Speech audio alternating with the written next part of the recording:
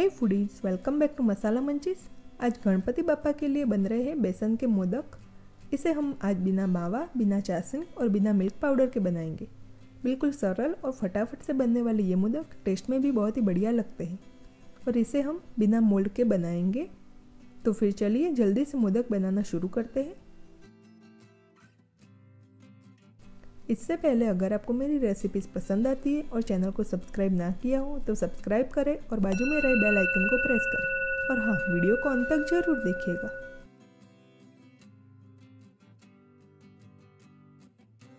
बेसन मोदक बनाने के लिए सबसे पहले एक कप बारीक बेसन लेंगे। इसे छन्नी में डालेंगे।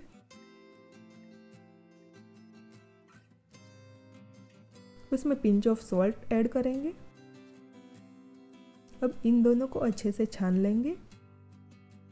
बेसन अच्छे से छान लिया है। इसे साइड में रखते हैं। एक कढ़ाई में वन थर्ड कप घी लेंगे। यहाँ पर मैंने घर का देसी घी यूज़ किया है। घी गर्म हो जाए तब उसमें हम धीरे धीरे से बेसन ऐड करते जाएँगे और मिक्स करते जाना है।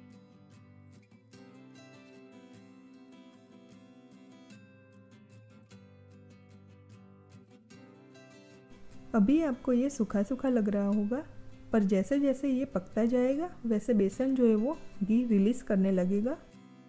धीमी आँच पे इसे कंटिन्यूस चलाते जाना है, ताकि बेसन जो है वो जले नहीं। करीबन तीन मिनट तक पकाने के बाद आप देख सकते हैं कि इसका थोड़ा थोड़ा बाइंडिंग आने लगा है और घी भी छूटने लगा है। अभी इसे थोड़ी देर और पकाएँगे। दो मिनट के बाद ऐसा फूला फूला और लिक्विडी लगेगा। इसने घी रिलीज़ करना शुरू कर दिया है और इसकी खुशबू भी बहुत ही अच्छी आ रही है। बेसन अच्छे से पक गया है। अब इसमें हम हाफ़ कप चीनी डालेंगे। अच्छे से मिक्स कर लेंगे।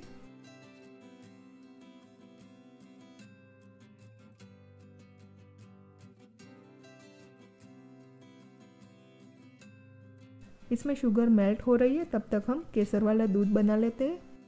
यहाँ पर मैंने वन फोर्थ कप हल्का गुनगुना फुल फैट दूध लिया है। उसमें pinch of yellow food colour और केसर डालेंगे। फ़ूड कलर बिल्कुल ऑप्शनल है। इसे अच्छे से मिला लेंगे और साइड में रखेंगे।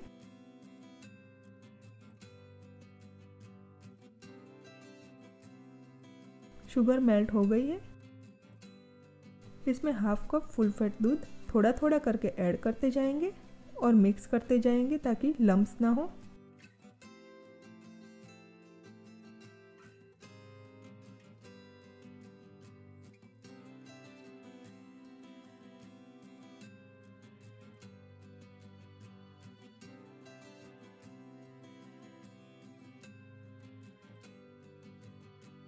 थोड़ी ही देर में ये गाढ़ा होने लगेगा। ऐसा लम फ्री हो जाए, तब उसमें हम सेफ्रॉन वाला मिल्क और वन फोर टीस्पून इलायची पाउडर ऐड करेंगे। अच्छे से मिक्स करेंगे।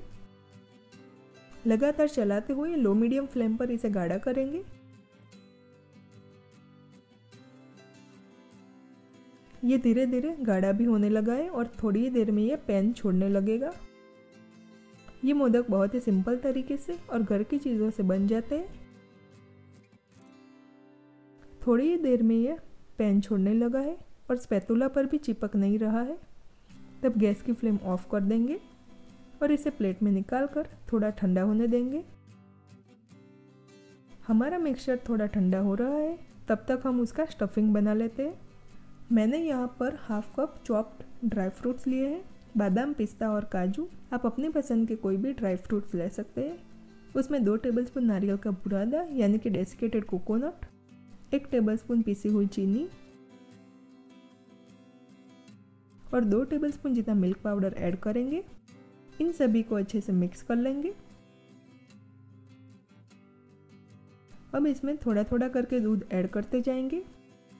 एक ही बार में पूरा दूध ऐड नहीं करना है, क्योंकि अगर ये एक बार ज़्यादा लिक्विडी हो गया तो ये कुछ भी ऐड करने के बाद भी इसकी अच्छी बाइंडिंग नहीं आएगी। इसलिए दूध आपको ध्यान से ऐड करना है। ऐसे बाइंडिंग आने लगे, ऐसा स्टफिंग बनाना है। यहाँ पर मुझे टोटल एक टेबल स्पून जितना दूध लगा है। अब हम इसके छोटे छोटे बॉल्स बना लेंगे। अगर हाथ में चिपके तो आप घी लगा सकते हैं। इसी तरह से सारे बॉल्स बना लेंगे। ये अभी हल्का सा गुनगुना है। इसे ज़्यादा ठंडा नहीं करना है, वरना ये ड्राई हो जाएगा और मोदक बनाने में परेशानी होगी। इसमें से एक लुया बना के ऐसे पूरी जैसा बनाना है। इसमें स्टफिंग का बॉल रखेंगे और इसे ऐसे कवर कर लेना है। अगर हाथों में चिपके तो थोड़ा सा घी लगा लें। क्योंकि हम बिना मोल्ड के ये मोदक बना रहे हैं तो हाथ से ऐसे मोदक का शेप देते जाएँगे। नीचे से ऐसे राउंड शेप देके ऊपर की ओर धीरे से प्रेस करते जाना है। ऐसे मोदक का शेप देना है।